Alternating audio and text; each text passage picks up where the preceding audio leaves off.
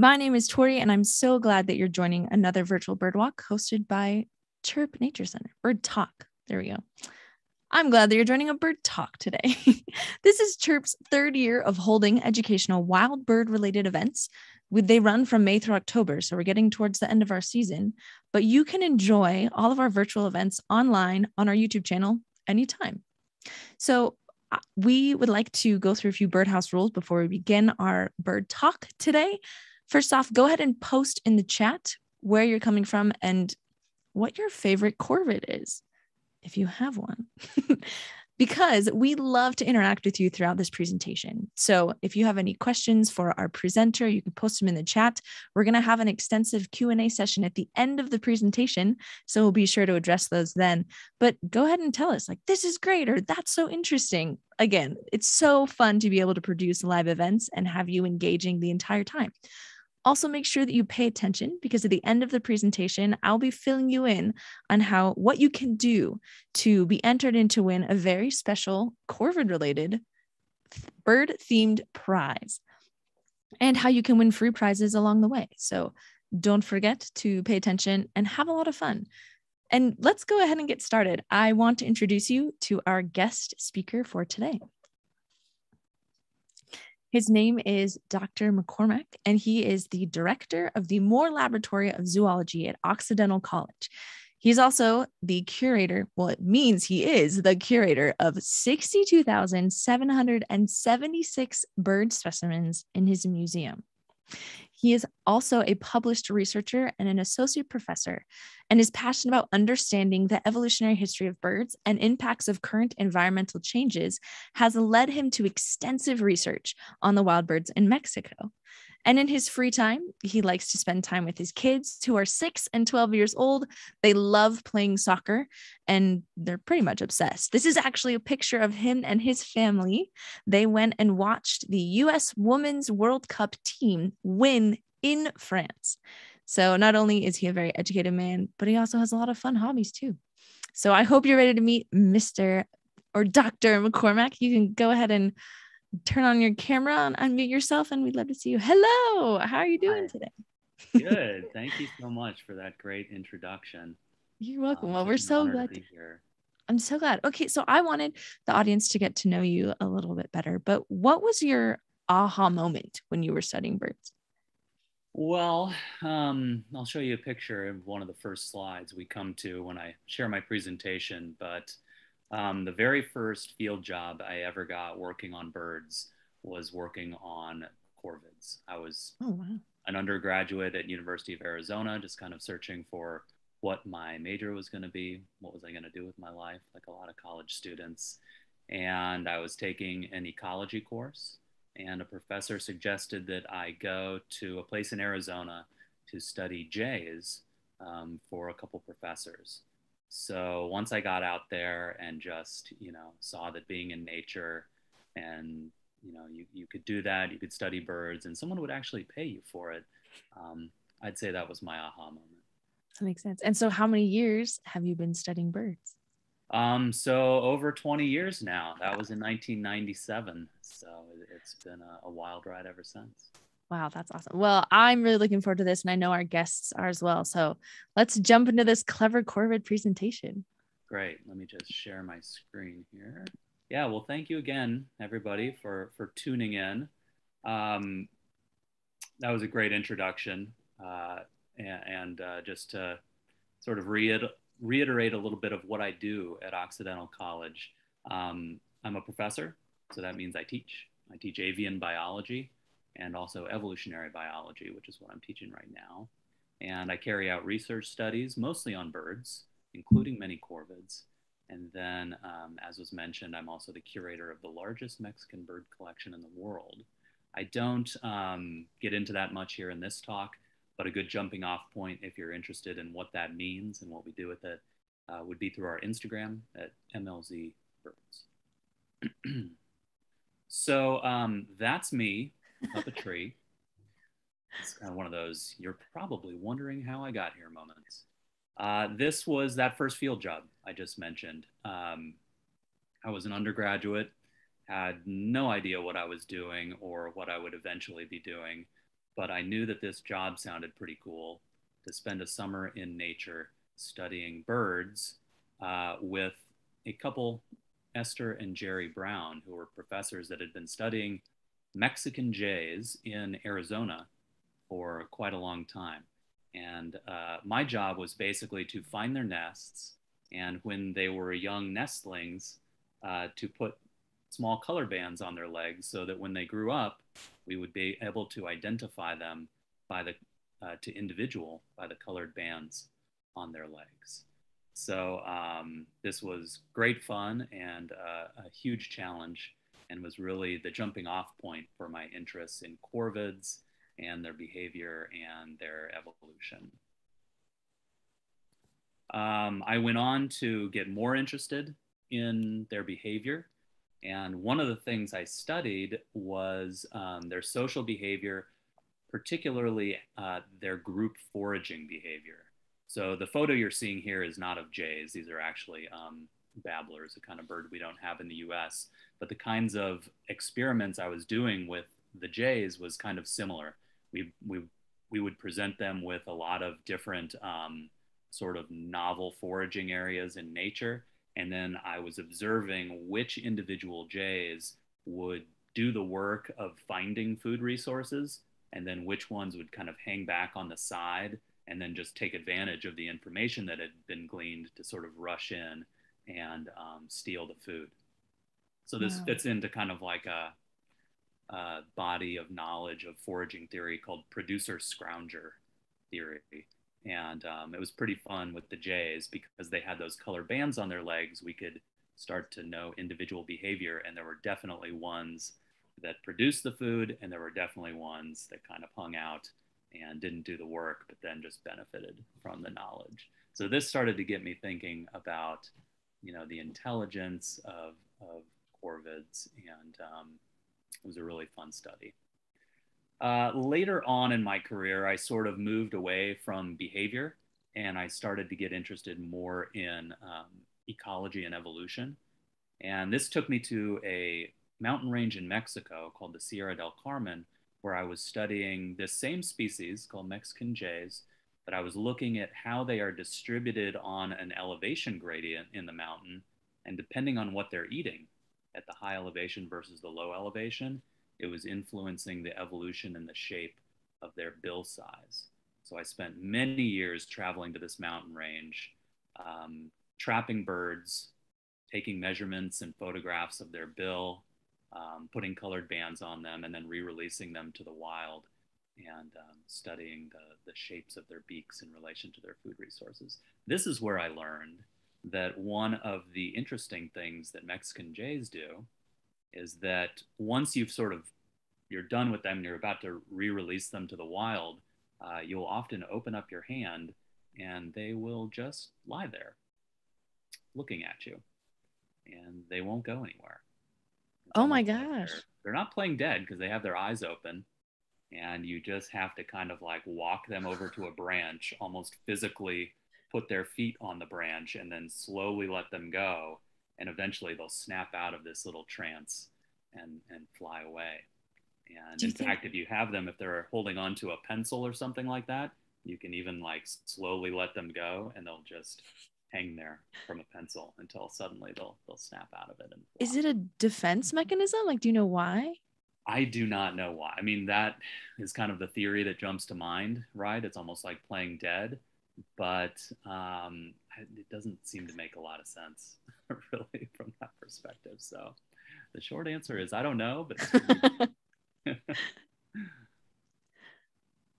so these days, I'm more interested in the evolutionary history of birds and reconstructing sort of broad scale, very deep time, millions of years ago, relationships of birds, how species were formed, what were the factors forming species and like how and when did it happen so now i'm creating these big evolutionary histories of all corvids in wow. the lab mainly using dna sequence data um, generated in a genomics lab so things have got pretty technical and a, a pretty long ways away from me up in that tree in arizona but um, it is still a lot of fun and really rewarding work So I want to start here, um, really at the basics, just saying, you know, what is a corvid?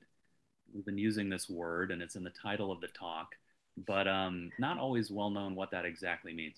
Corvids are crows, ravens, jays, and some other birds um, that are closely related that are in a family of birds called the Corvidae. Um, this includes some well-known things, backyard birds like the scrub jay here on the hmm. left, ravens and crows, but also some lesser known things that are found over in Asia, like the green tree pie in the lower right. So there's 103, 133 species of corvids worldwide, and they are all known to be highly intelligent. Uh, well, as I said, I'm an evolutionary history buff, so I want to tell you a little bit about the origins, the deep origins of corvids. Um, what I am showing you here in the upper right is actually a map of human evolution and dispersal out of Africa. You may know that humans evolved and then spread around the globe and reached North America maybe about 15,000 years ago through the Bering Land Bridge, kind of showing you up here in the upper right near North Asia there. Corvids actually um, sort of have a similar history uh, and dispersal, only it was a much longer time ago. So corvids evolved 15 million years ago in the areas that are now Australia and Southeast Asia. And then they moved also up through that same Bering Land Bridge colonized into North America and then into South America uh, four, at least four different times. So um, we've got four lineages, separate lineage, at least four, five actually, separate lineage, lineages of corvids that are now in the Americas. Um, and I'm just showing you a few representatives of those lineages here. Um, Steller's jay and scrub jay being part of those, common raven and the crows being another, and then some interesting sort of one-off birds that you may not be that familiar with, um, things like Clark's nutcracker and mm. gray jay, some of the high elevation birds of the American West. Uh, Corvid's closest relative, living relative on Earth, is a family of birds called the shrikes, the Laniidae. Um, these are pretty cool birds too. Uh, you can consider them almost like the brother sister family to, to corvids. They are small songbirds, but they um, act almost like birds of prey and raptors. They have this hook at the end of their beak, and they're known for grabbing their prey, like a grasshopper or even a lizard or a mouse, killing it, and then impaling it on a thorn or on barbed wire to save for later. So the picture pretty much. The picture pretty much sums it up. There were some more gruesome pictures out there on the internet. I, I, chose to go with this one that was a little more. Yeah, I'm sure we all appreciate palatable. that. Yeah. yeah. so corvids uh, appear all the time in literature and the movies and TV, um, and seem to always be represented as um, a highly intelligent bird. Whether it is the Hunger Games books by Susan Collins, you've got the Mockingjay this was, uh, it's not a real oh. bird, but it's a, a uh, fictional hybrid between a corvid and a mockingbird that's able to mimic human sound and is highly intelligent. Um, all the way back to Edgar Allan Poe's famous poem, The Raven, where you have a, a corvid, a raven that can mimic human speech and sort of drives a person insane by constantly responding to him with the word nevermore. Um, so always depicted as smart, probably to the point of scary smart. Um, of course, probably the most famous representation of all is Alfred Hitchcock's horror film The Birds, where uh, the corvids take on a very menacing aspect. So, how did they get these smarts or uh, scary smarts, and, and what exactly are their full capacities? I'm going to take you through just a few of the areas um, of uh, corvid smarts to show you how clever they are. And the first one I want to hit upon is problem solving. Corvids are known to be great problem solvers. Um, first, I want to just talk a little bit. If I, you know, I, am a professor, so I got to get a little pro- professorial here and talk to you a little bit about our knowledge of avian cognition intelligence and how it's changed through time. What I'm showing you here on the top is sort of a classic uh, view from decades ago where uh, comparing the songbird brain up here on the left, upper left, to the human brain on the upper right. And you can see in the purple areas, these are parts of the brain that researchers assumed were for instinctive behaviors. And then the green is parts of the brain that was responsible for more complex cognitive behaviors. So it used to be that the parts of the avian brain that had been identified, most people thought that they were for instinct and not sort of higher processing. But the more we learn about the bird brain, the more we learn, uh, you know, there even is that term, right? Bird brained, not very smart. But the more we learn about the bird brain, the more we learn that, that um, bird brain is actually quite a compliment. Because as you can see down here on the bottom, this is the modern view where the bird brain is now known to be responsible for uh, a lot of different complex behaviors instead of instinctual behaviors. Wow. And in fact, there are parts of the bird brain that are really um, doing similar things to the prefrontal cortex of primates, which is the part of the brain that's responsible for, for a lot of the complex thought. Um, and this is thought to be an independent evolutionary event in birds um, where this part of the brain has developed. So the more we learn about bird brains, the more we learn they are more like primate, and more like human brains than we might have originally thought. And that allows birds to do lots of complex tasks. So there's all kinds of amazing studies that have been done, especially with a particular species called the New Caledonian crow. Hmm. This crow, for whatever reason, seems to be smarter than all the other species. And um, uh, this particular experiment I'm showing you, uh, you can see the number one over here. What they do is they present these crows with almost like a toolkit composed of uh, thin rods with little connectors and ways to connect the rods together. And then they also present the bird with a box where um, essentially the bird can see that there's a piece of food inside, mm. but it can't reach its beak inside. It can only reach a little stick. And these New Caledonian crows have been shown to be able to look at the tools at hand, construct a long, thin rod out of the tools presented to us, the little bits and pieces, basically construct a tool and then insert it in and move the food so- source over to retrieve it. So, How? really amazing, you know, not just using tools, but actually constructing tools. How long does it take them to figure out how to get the food? Yeah, so they do a little bit of pre training on these tasks. Um, usually they're kind of like taught on one piece of the task first that they learn how. And then eventually they're sort of novelly presented with all the pieces that they've sort of independently come to understand. And, you know, it only takes a little while for them to figure this out. So, um, what I'm showing you here is a New Caledonian crow doing a different kind of task. Um, uh, almost learning basically how to use a type of vending machine.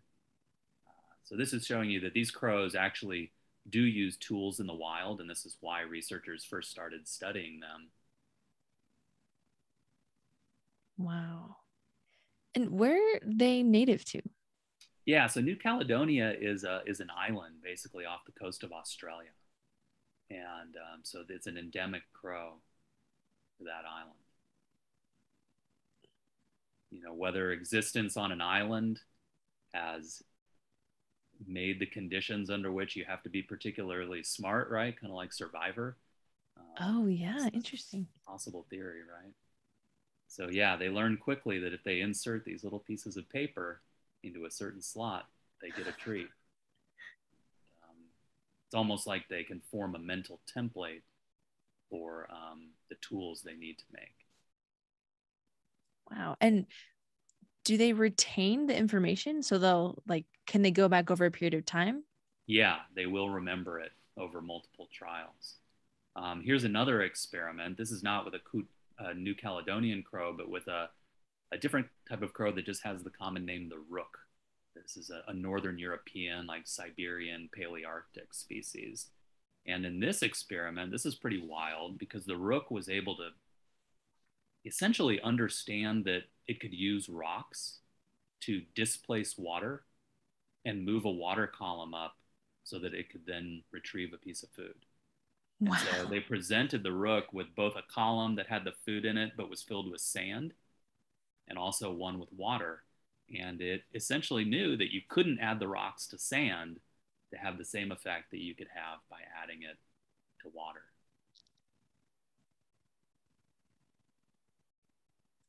I'm sure as, as a scientist and bird researcher, this is just like so exciting for your heart, you know, to watch. I'm oh, sure yeah. years of and, study. And also, you know, the scientist in me uh, just loves the complex experimental design. Mm-hmm. Um, you know, I'm not really explaining that to you here, but all of these trials have sort of like negative controls, multiple individuals so that you can have a high sample size. You know, this is um, not based on just like one exceptional bird that's able to do something that, that no other birds can do. Although I will give you one example later where that is maybe the case. so that is complex tasks. Another thing that corvids do that's really incredible is that they have amazing memories.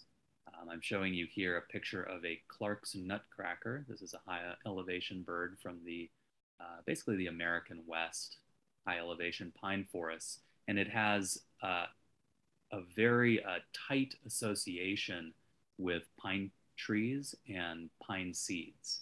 That's most of what it eats, especially in the winter months. And it has this long pointed bill that allows it to extract pine seeds from cones. And so studies have shown that these Clark's nutcrackers can remember up to 20,000 seed caching locations. So what they do is they go around to these different pine trees, they fill their crops with pine seeds, and you can see that in the illustration in the upper left here. And then once they've got a, a full pouch, throat pouch of pine seeds, they fly down to tons of different places and they bury a few seeds at a time and, and hide them. And they can remember these for months and months and months, up to up to nine months in some cases. Although they have shown that their memory kind of starts to lag and they make more mistakes. The experiments that were done here were done um, not in the wild, but in controlled trials in labs, uh, like you're seeing here on the bottom left. And uh, they could still remember these locations after nine months, but they started to make more mistakes eventually. Wow.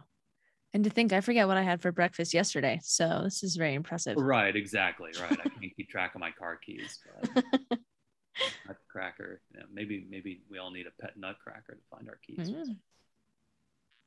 Um, so the reasons behind this, um, I mean, I already mentioned that they they um, are pretty specialized on pine seeds, but what I'm showing you here is kind of the the breeding cycle of your average songbird. Well, this isn't your average songbird, obviously. It's a very beautiful one, the scarlet tanager, but it has what you might consider to be kind of a, a normal annual cycle.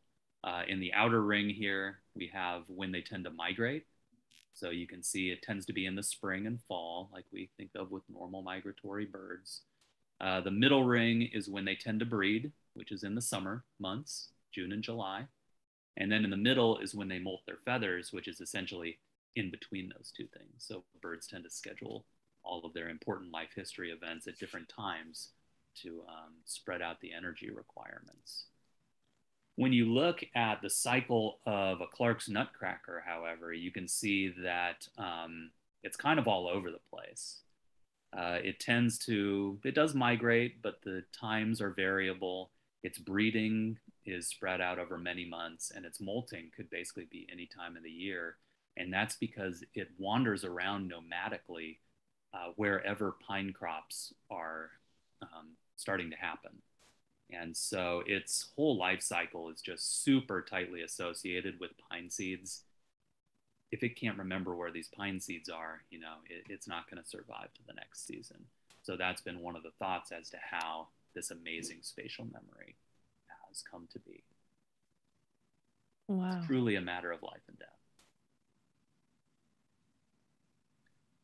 so corvids have been really kind of models for understanding memory and understanding memory in birds, um, especially a particular type of memory called episodic memory.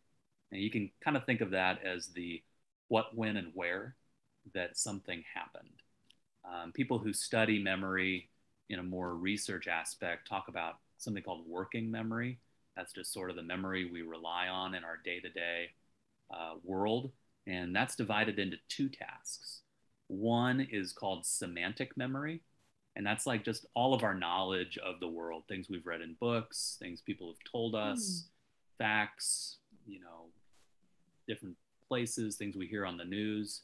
And then there's another type of memory that's called episodic memory that is about specifically remembering events from the past that happened to us in kind of a chronological way.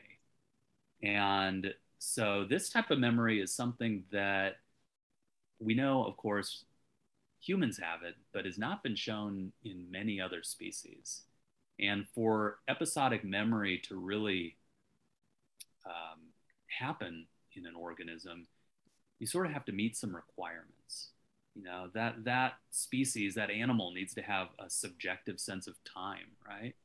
Um, it needs to have some kind of knowledge of itself as, and, and itself as a, a sort of independent thing in time, something they call autonoetic consciousness. Kind of a, a beautiful word, right? Yeah. So um, this was actually demonstrated for, for the first time in animals in a corvid. In fact, our, our local Western scrub jay from research trials that were done in a lab. And here, uh, this is work that was done by, by Nicola Clayton, Nikki Clayton, who's shown in the the, the bottom half of the slide there. Uh, she and her colleague presented Western scrub jays with these ice cube trays filled with sand, and then they let them bury either seeds or grubs in these different parts of the ice cube tray. And so the thing about this experiment is that grubs would eventually rot and perish and the uh, scrub jays liked the grubs more. They were more nutritious. And what they found in this experiment is that the jays basically satisfied all of the factors required for episodic memory in that they knew the what, they knew that they were burying either grubs versus seeds, um, they knew the where, so they could remember exactly where in the tray they buried each one. And then they could also remember the when. So they would, this is kind of the special part of the experiment. They teased apart that the scrub jays seemed to know that grubs would not only spoil, but when they would spoil, meaning they knew how long ago they had buried them, because they would always dig them up first um, before they rotted. Wow. So yeah, satisfying all of the the technical requirements, but because we still don't really have a knowledge for how the Western scrub jays sort of perceive themselves as individuals in all this, right? We can't ask them. Um, they call this episodic like memory, um, you know, pending further study.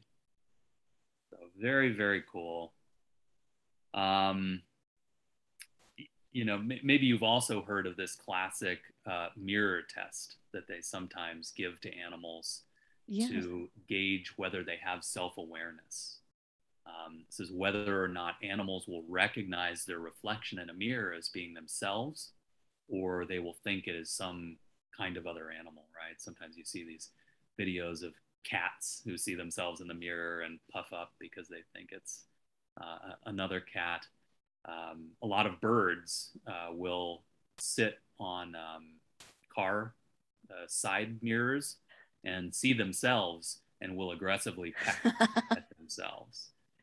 Uh, and really, the only animals up until now that have definitively passed the mirror test are things like primates, dolphins, and I think there's a case of, a, of an elephant having passed it. Wow. And then there is the Eurasian magpie.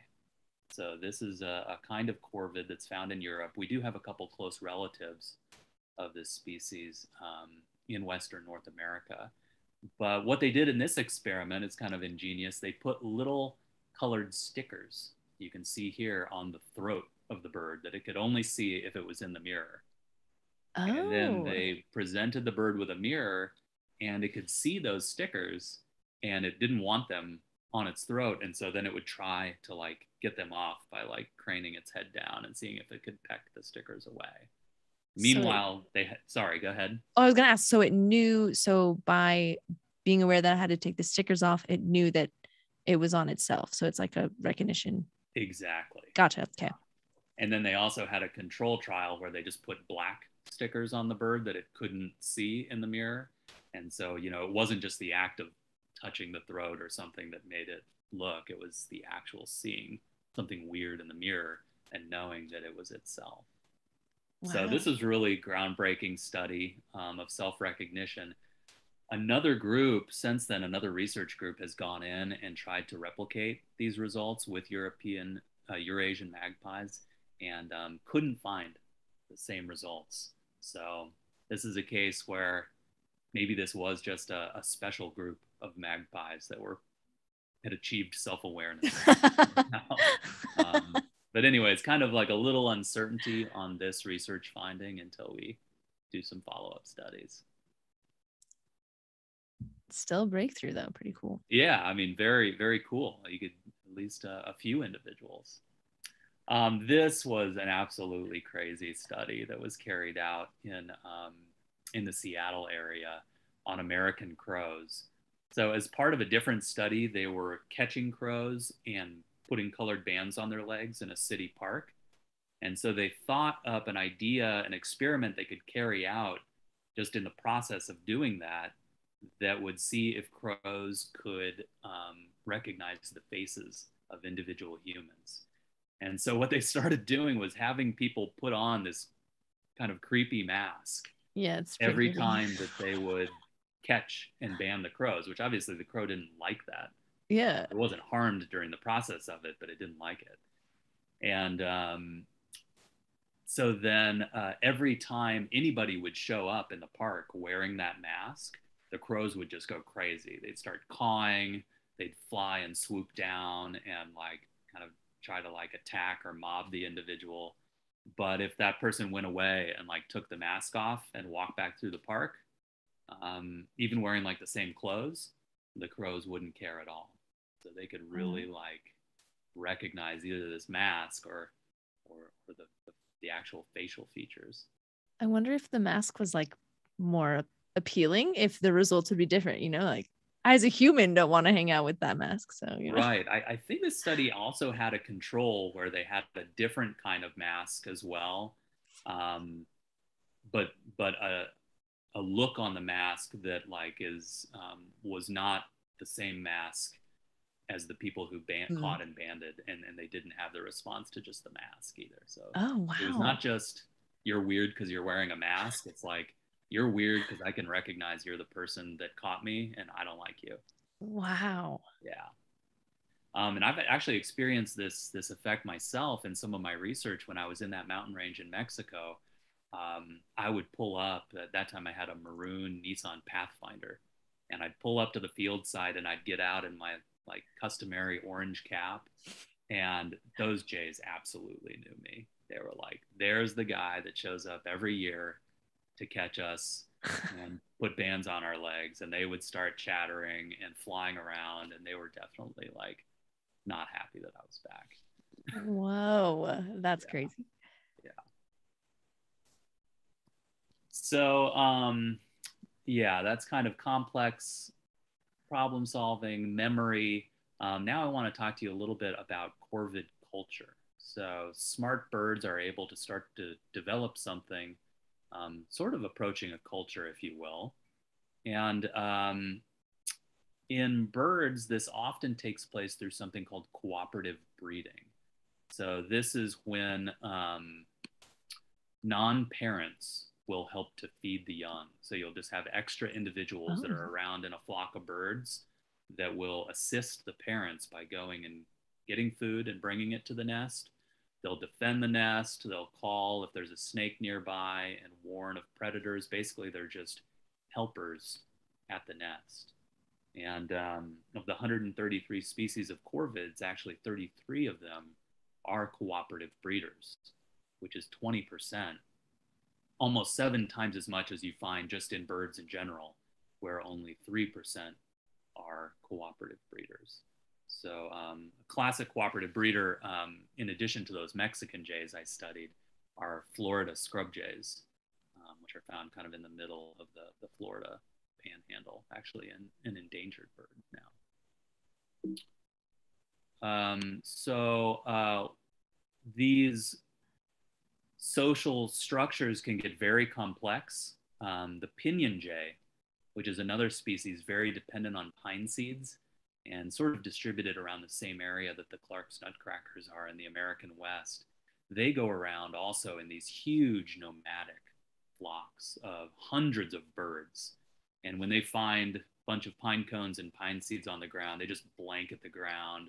They're all calling, they're hopping over each other, they're like tripping over each other, um, but seem to like not be getting that angry at each other, right? They're they are evolved for sociality. and what's so fun is that um, they breed all at the same time, and then the young, after they're hatched, sort of form these little groups called um, creches that are watched over by the adults, almost like a little form of preschool or something. Put their young into into preschool so that all the adults don't have to be paying attention at all the time. Yeah, that sounds ideal. Wow, yeah, that's amazing. Exactly. That's the way to do it, right? um, so for cooperative breeding to sort of develop, um, the researchers who have studied this have identified some some key traits that need to happen. Um, you have to have a strong social bond between parents and young, which is not always a given in birds. There are some birds that, um, like where the males, for instance, will really not contribute to the care of the young, mm-hmm. um, and even some species where where the females don't either. And the baby bird basically hatches. It's fully capable of taking care of itself, and it wanders off into the world. Um, but for cooperative breeding, really you need a different situation. You need a really strong social bond between parents and their young. And typically, you also have dis, uh, delayed dispersal from the nesting site. So the young tend to hang around. They don't immediately fly off to kind of strike out and find their own territory. And then, because of that, you really need tolerance of the adult birds to the grown young. So if there are any uh, parents in the audience with college age kids or recent college graduates, you know, you might be kind of dealing with some of this yourselves where the grown young has sort of decided to stay around the nest for a little while and uh, certain behaviors need to develop for, for tolerance. Right, mom. Birds. Sorry, go ahead. I was gonna say, right, mom. I know she's watching. Yeah, yeah, exactly. yeah. I did a little bit of that myself too. Parents were, were very tolerant. Uh, birds have developed a slightly different way uh, to do it, and they actually have um, evolved something called delayed plumage or delayed uh, color maturation in young birds. Um, so what I'm showing you here on the right is a Mexican jay, uh, like a first, a second, or third, even a third year bird, uh, will not have a fully dark beak. It has a starts out with a very light color and then it slowly fills in with dark until like maybe its third or fourth year. And then some corvids have even more complex uh, maturation phases where the young bird starts out um, in this Yucatan jay in the lower right wow. with a lot of white plumage. And then it slowly, the plumage gets dark and it, but its, its bill and its eye rings stay light. And then finally, the adult bird has fleshed out into its fully dark black and blue plumage, but the legs stay yellow.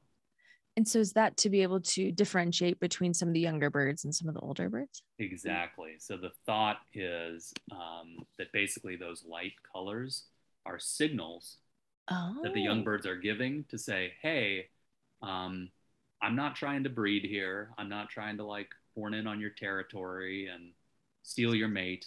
I'm just here to help uh, at the nest. And then um, you could ask, okay, well, that's cool, but what's in it for those birds in the long run? Uh, essentially, they're taking a waiting strategy where they're, you know, waiting for predation or old age, basically, to free up a, a territory so that it can then take its place. So it's kind of a, a get in line sort of social behavior. I was thinking like a mentorship program. There you go. yeah. Wow. Yeah, there you go. Apprenticeship probably yeah. makes more sense. And then a final aspect of corvid behavior that is really wild is that a lot of them seem to have something that you might describe, if we want to get a bit anthropomorphic about it and, and sort of ascribe human behaviors to, to animals, you might call a form of funeral. So, this is a, a study that was done on Western scrub jays. And I've actually seen this behavior myself in the wild. One time I was walking down a canyon in in the same mountain range in Mexico, where I heard a commotion in the canyon, Mexican jays calling from all sides. I assumed there was a snake or some kind of predator, maybe an owl. And I walked up, and there in the middle of the sandy wash, underneath a rock ledge, was a pristine, recently died Mexican jay. And all of the other birds were basically all around it sort of squawking. And what to me at the time seemed like you know some kind of a social ritual and this was before wow. this paper came out in 2012 kind of showing that this was a thing that some corvids seem to do so um, what they're getting out of this is kind of unclear but they do seem to recognize they're recently fallen and have some sort of group reaction to it. That's so cool. So then when you read the paper, you're like, I've experienced that. Yeah, exactly. Was, you know, this was in probably like, you know, early 2000s, sort of before we had phones and our cameras and everything else. God, I wish that I had, you know, yeah, had the wherewithal to, to document it because it was just so interesting. And clearly, like, this had just happened. It sort of stumbled upon the wake. Uh, so the last thing I want to tell you about, just really briefly, because it's so fun, is the idea of play in corvids. So play is found in a lot of different animals. Um, I think even all the way down to insects. Some wasps have even been shown to engage in things that we might describe as play. And there's a lot of theories behind why animals play. Um, say, some say it's for training and to gain sort of strength and skills that you might use um, when you're older. Um, some say that it's to develop what's called an attention getting uh, type of, of behavior where you become uh, you know an individual that's able to capture the attention of other individuals in your group.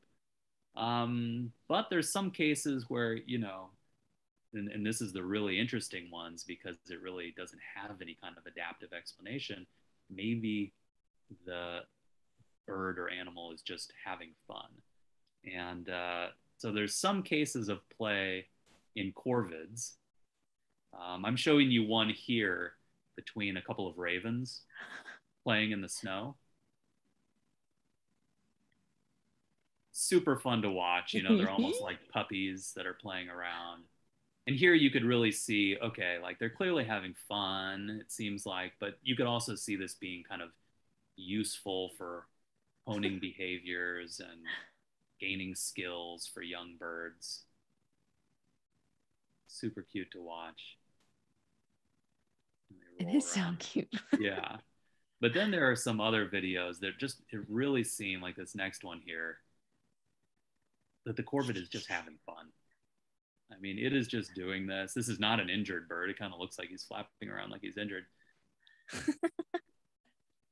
he's just rolling down a hill in the snow, you know, like a kid. It's so endearing. It really is. And, um, you know, it's a window into that cognitive side of birds that really remains to be explored. What are they thinking when they're doing this? So, just to kind of summarize here as I wrap up, um, corvids have well developed brains that allow amazing spatial memory, episodic like remembrances, facial recognition, complex social groups, and play. But we're still very much learning what parts of the corvid brain are responsible for all this, how corvid brains are different from other bird brains and other smart birds like parrots that allow them to have some of these special behaviors. And um, not only what parts of the brain, but also what parts of the genome and the DNA have allowed that to evolve and develop. So, still plenty more to learn, um, plenty more to explore and understand from the scientific side.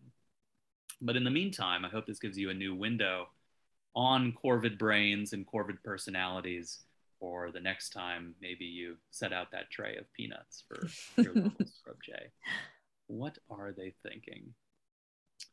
So thank you so much for listening. This has been really fun. Um, at the Moore Lab, you know, we have a, a, a research program going on. We often have outreach events. If you'd like to hop on our mailing list, you can do that by visiting our website at moorelab.oxy.edu. Again, a good place to jump in um, to our research is on our Instagram at MLZ Birds. And uh, feel free to shoot me an email uh, at mccormack at oxy.edu. Uh, at Occidental College and in the Moore Lab, we really have a um, very active these days uh, ornithology and museum science program involving that Mexican bir- bird collection that was mentioned, uh, a genomic center and ancient DNA lab, all part of this big Anderson Center of Environmental Science. Um, our students are doing great work. They're getting great fellowships. And so if you have a bird nerd young person in your life who is thinking about college, um, go ahead and, and send them our way. Thank you so much, and I'd be happy to answer any questions. That was awesome. I and all of the attendees are clapping for you virtually. but yes, there's actually a ton of questions that came in. So if you didn't get a chance to ask it, go ahead and start posting that in the chat. I'm going to pull up some of them right now. Um, but that was awesome. Thank you so much. All right, let's let's start with some questions. So we have oh Heather asked, what is a good visual cue to determine whether it is a crow or a raven? Ooh, good question. Good one. Especially here in Los Angeles and Southern California, where you can have both crows and ravens.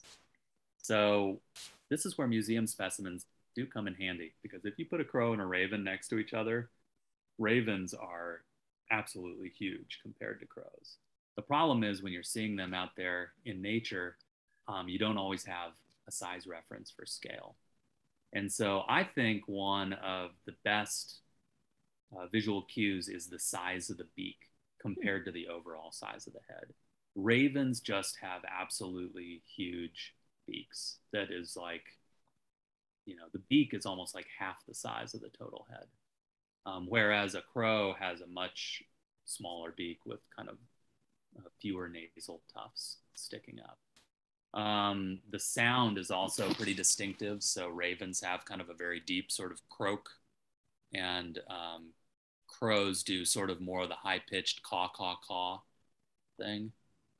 And um, then the tail in flight is sometimes discussed as a, a, key feature. So crows tend to have more of like a almost like a squared off rectangular type tail, whereas in flight the raven tail is going to kind of look more diamond shaped and gradate, like have a gradation at the end. I haven't found that like a lot of times you see a tail in flight and you're still like, mm, I didn't really catch that. So it can be tough, no matter what kind of a look you get at the bird.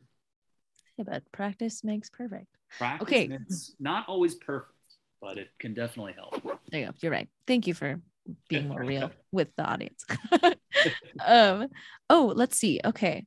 Melissa asked, what is the best food to feed our two resident crows? Ooh, crows. Yeah. Um, well, crows will, they're omnivores, so they will eat almost anything. But, um, you know, I think any type of, of seed, large seed, I would say, um, that you would give, the same kind of things that you would give to a jay, um, would be good for crows or for ravens. But they will also eat, you know, just about anything they can get their beaks on. Good point. All right. Another one was, oh, what are you doing in the picture with all of the yellow birds lined up? I mean, this is a similar picture that's on the screen right now. Yeah, so that that's in the bird collection. So those that's the the specimen collection. So those were birds that are in, in the Moore Lab specimen collection. Um, they were collected long ago. Uh, 1933 to 1955 is when most of the collections were made. And so what we do with those specimens now is kind of um, uh, make good use of those birds that were kind of donated for science and we measure them and we can actually get DNA out of those specimens. And the stuff we learn from those studies help us have more knowledge about birds and kind of directly lead into um, conservation efforts as well. So, I know it's a little hard to think about conservation when you're looking at a tray of dead birds, but um, really, um, what we can learn from those specimens collected a long time ago is extraordinarily helpful to the populations that are alive today. Hmm. And speaking more about learning, can you recommend a book on the birds of Mexico? Ooh, uh, yeah, a book on the birds of Mexico. Well, um, in terms of a field guide, uh, Steve Howell, Birds of Mexico and Central America, uh, is really still kind of the, the, the gold standard. Um, I think he's working on a second edition. It's it's pretty pretty old by now. It's a thick book, um, but it's got all the birds and their ranges and um, plates showing pictures of them. Yeah, Howell and Webb. Sophie Webb is the artist who did the illustration. Steve Howell did the text. Cool. All right, Joyce. I hope you wrote that down. um, Terry asks, I read about I read often that ravens are generally seen in pairs and not groups. More times I see them in large groups. So why is it said that they travel in pairs? Yeah, because they will travel in pairs during the breeding season. And mm. they uh, also are more likely to be found in smaller groups, even uh, during the winter season. So they do sometimes roost together and they hang out at night in, in larger groups uh, during the during the winter months. But um, crows are really the ones that will gather in really, really, really large flocks. Interesting. Yeah. So that that's sometimes another way that I will clue into maybe a raven is if you see them flying or circling in a pair, especially a couple birds circling high above overhead. Those are almost always going to be ravens and not crows. Hmm. All right. Let's see. Russell says, Hi, John. What do you think about what do you think attributed more to the evolution of intelligence in corvids? The ad- advantages of social behavior or the needs to develop problem solving skills? It's a good one. It is a really good one. And I am going to punt on that one by just saying, I don't know. I mean, clearly there is something in the early evolution because this is not just corvids that got to the Americas. Um, the New Caledonian crow that's off the coast of Australia. It's the rook that's in Siberia. Something happened in that early history, 15 million years ago, that led to the development of intelligence. And maybe when we dive into the genome and start to understand the DNA triggers and when they developed, um, we might get a window on the why. Um, mm. Until then, uh, I think we just kind of have to speculate, uh, which is super fun. But um, maybe the answers will come with time. I don't know. That's a good title of a research paper. When you find the answers, the window to the why. Just, there you go. You can say that was coined here. Hmm. Right. Yeah. Deb asks I once saw two ravens or crows attacking a pigeon. They both had each wing pinned down to the ground and were pecking at it. Is this normal behavior? Um, I don't know that I would say that that's normal behavior in the sense that you probably don't see it every day. But uh, corvids also have a sort of reputation for being, uh, you know, kind of uh, nasty birds sometimes who what? will steal the young uh, out of the nest of other species. They'll steal and eat the eggs of other species. And um, if they can find a way to make a meal out of a helpless bird, they they probably will. So that's the the, the sneaky side of those clever corvids. No, I think that's a fantastic answer. And we have resources on chirpforbirds.com um, that you can look on how to help the declining bird populations, how to take care of your cats, talking about the window collisions too. So that was a good segue um, into how you can better your bird brain and also just continue to raise awareness and consciousness because wild birds are awesome and they deserve to be supported and cared for. But first off, I just want to say thank you so much, Dr. McCormack. It was such a pleasure getting to learn from you and see ravens rolling in snow. So post it if you learned something new. I'm so grateful and I really look forward to being able to collaborate with you and the lab in the future as well. Thank you so much. It was great. Until then, let us know how we can help. We are located at 578 Bonanza Trail in Big Bear Lake, California. We have our phone number right there. You can email us anytime at help at chirpforbirds.com.